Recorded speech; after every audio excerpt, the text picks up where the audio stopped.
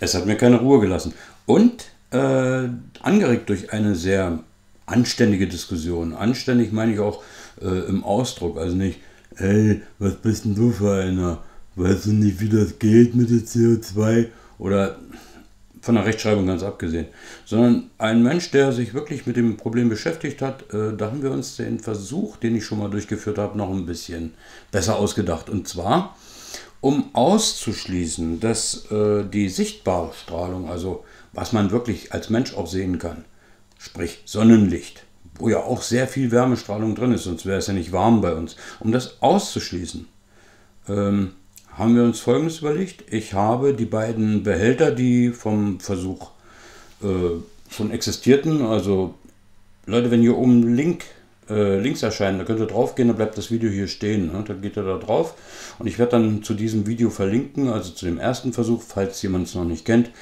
Ähm, und dieses Ergebnis hat sich dann bestätigt, aber da komme ich dann drauf. Also das heißt, äh, wir haben diesmal in diesem Fall einen Wärmestrahler genommen, einen Ofen, der um die 50 bis 70 Grad Wärme, also unsichtbare Wärme, Wärme, die man fühlt, man sagt auch äh, langwellige äh, Infrarotstrahlung, sagen zum Beispiel, glaube ich, die Amerikaner dazu oder äh, mittlerer Infrarotbereich, also das, was man so fühlen kann als Wärme, nicht, nicht totale Hitze, ich meine jetzt nicht hier ein paar tausend Grad oder sowas, sondern diese Wärme, die haben wir den Ofen strahlen lassen und das dann alles gemessen. Wie das funktioniert, also wie der Versuch wirklich funktioniert, ähm, dazu werde ich hier auch Links anfügen.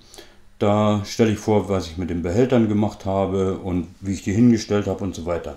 Folgendes ist passiert. Der Ofen hat also beide äh, Behälter gleichmäßig bestrahlt und äh, ich habe alleweil die Celsius-Temperatur, Theta gibt man die an, ne? das ist wie so ein V, von CO2 bzw. von Luft gemessen. Hier waren wieder fast 100% drin an CO2 und hier ganz normale Luft. Schön trocken, ganz normal trocken, beide. Dass mir nicht jemand sagt, oh, da hat er Wasser reingefüllt. Es gibt ja Leute, äh, die stellen das CO2 zum Beispiel her, indem sie hier Wasser reinkippen und dann noch äh, Backpulver drauf und CO2 entstehen lassen. Da entsteht aber auch sehr viel Wasser. Solche Versuche sind gefälscht. Al Gore und Co. und was es alles so gibt. Da. Naja. Gut, also, beide gleiche Ausgangsbedingungen, beide im gleichen Abstand zum Ofen, beide wurden also bestrahlt, nicht in, mit dem Ofen in Kontakt gebracht. Und ich habe angefangen bei ungefähr 5 Grad. Ich habe die Dinger also draußen abkühlen lassen. Und als sie beide gleich warm oder gleich kalt, eigentlich muss man ja warm sagen, ne? Wärme gibt es ja bis runter zu 0 Kelvin, oder knapp an 0 Kelvin heran. Als beide dann gleich mit gleicher Temperatur, Eingangstemperatur herankamen, hat sich folgendes entwickelt und zwar die Luft hat sich ein Stückchen schneller erwärmt als das CO2, aber irgendwann haben sie sich dann beide angeglichen.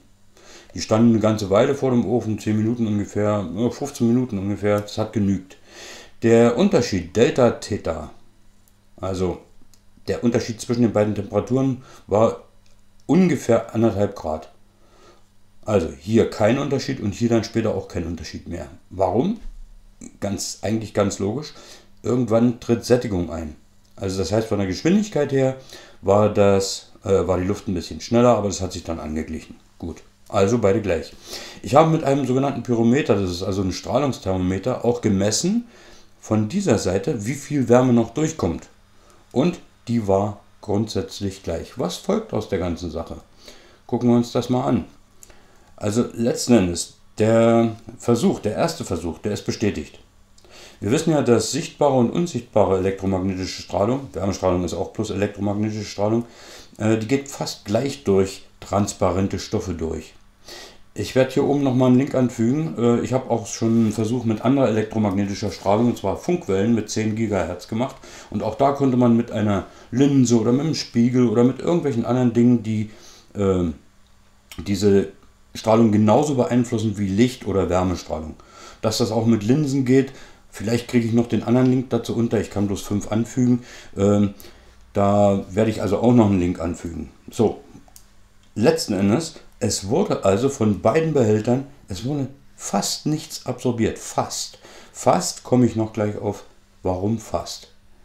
So, zweitens, CO2 lässt also Gegenstrahlung? Die typische Wärmestrahlung, wenn die Sonne also den Boden erwärmt, den Erdboden äh, oder meinetwegen auch das Wasser, vollkommen egal. Äh, diese typische Wärmestrahlung, wenn der Boden also warm ist, fast genauso wie Luft durch. Also das, ob ich da 100% CO2 nehme oder Luft, ist fast Schnuppe. Warum fast? Fast, das gilt bei CO2 nicht für gewisse Anteile im gesamten Spektrum. Also ungefähr in diesem Bereich 10 bis 15 Mikrometer Wellenlänge. Äh, da gibt es ein paar kleine Einbrüche. Da lässt das CO2 nicht so gut, aber das ist so wenig, nicht so gut die Wärme wieder durch. Naja, hm.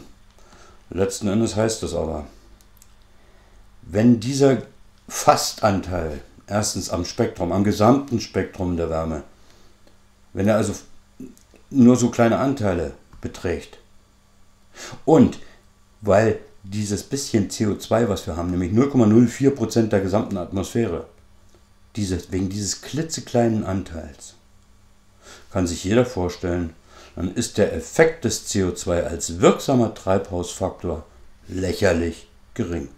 Und ein grüner Punkt. Ähm, wie gesagt, hier oben habe ich Links angefügt, aber ich werde jetzt zum Schluss noch Links anfügen, die die ganze Sache noch ein bisschen untermauern, belegen und so weiter, wo man sich weiterbilden kann oder wo man einfach mal gucken kann, was hat denn der Köhler für einen Versuch gemacht, der Marfü, ne? So, gut. Leute, ich wünsche euch was, denkt drüber nach und äh, Kommentare. Ich werde nochmal unten reinschreiben, wann ich hier Kommentare nicht zulasse. Ich möchte es nicht wiederholen, da hat jemand ähm, geschrieben, wie viel Cyankali brauche ich, um Leute umzubringen. Solche Dinge äh, das geht nicht. Es geht auch nicht, dass jemand so blöde daherkommt und äh, mich irgendwie beschimpft oder so. Das lösche ich dann auch.